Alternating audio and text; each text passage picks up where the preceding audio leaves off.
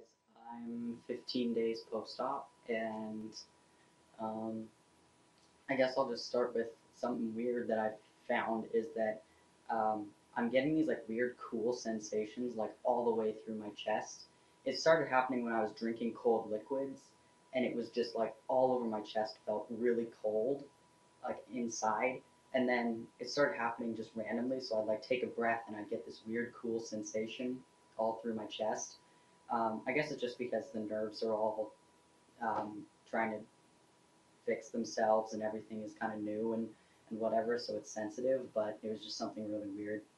Um, I'll go ahead and just show you guys. So my nipples have looked really disgusting lately. They look a lot better today than they have looked the past few days. Um, they've been really pussy and gross. Um, they're pretty black in the middle of them, and then really pink along the outsides. There's some like white on this one. I don't know.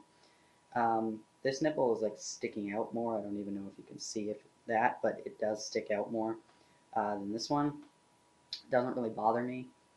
Uh, the swelling has gone down completely on the sides there. Um, you can definitely see this uh, right there, this weird little pocket thing there, pouch of gross. I don't, I don't know if that's fluid or something.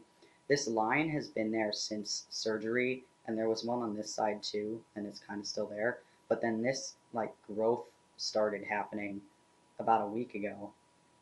Maybe not a week ago, but I noticed it, and it's pretty prominent because even when I have a shirt on, like you can see it sticking out under my shirt.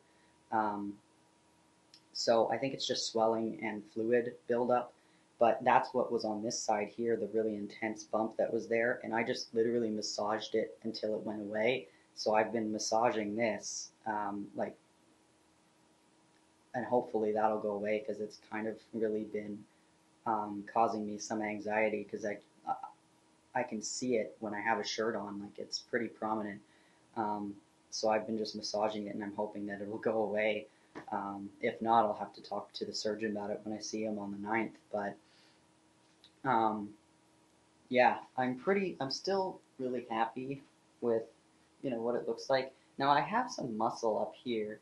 At first I thought it was swelling, but it's definitely muscle because that was there pre-op, um, which makes my chest look a little strange because all the muscles up here and I don't really have any, um, anything down here. So it looks a bit strange how there's like bumps here, but then flat everywhere else.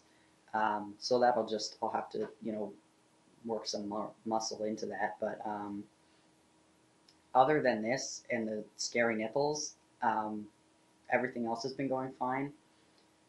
Uh, I don't have bio oil yet because I just haven't gotten it yet. Um, but once I do, like I'm ready to start like massaging my scars and stuff. Like they don't hurt or anything. And um, but I just need to get the bio oil. And yeah, I'm going to continue massaging this and hopefully it'll go away. Um, but otherwise, I'm really happy. I'm still obviously putting the polysporin and the gauze on my nipples, you know, when I'm uh, sleeping, when I go out, while I'm at home.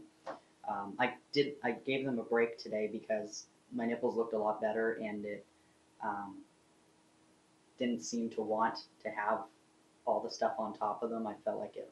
I just needed to breathe a bit. Um, but yeah, that's just a quick update about my chest. Um, if you have any questions, then let me know. Um, thank you for watching. See ya.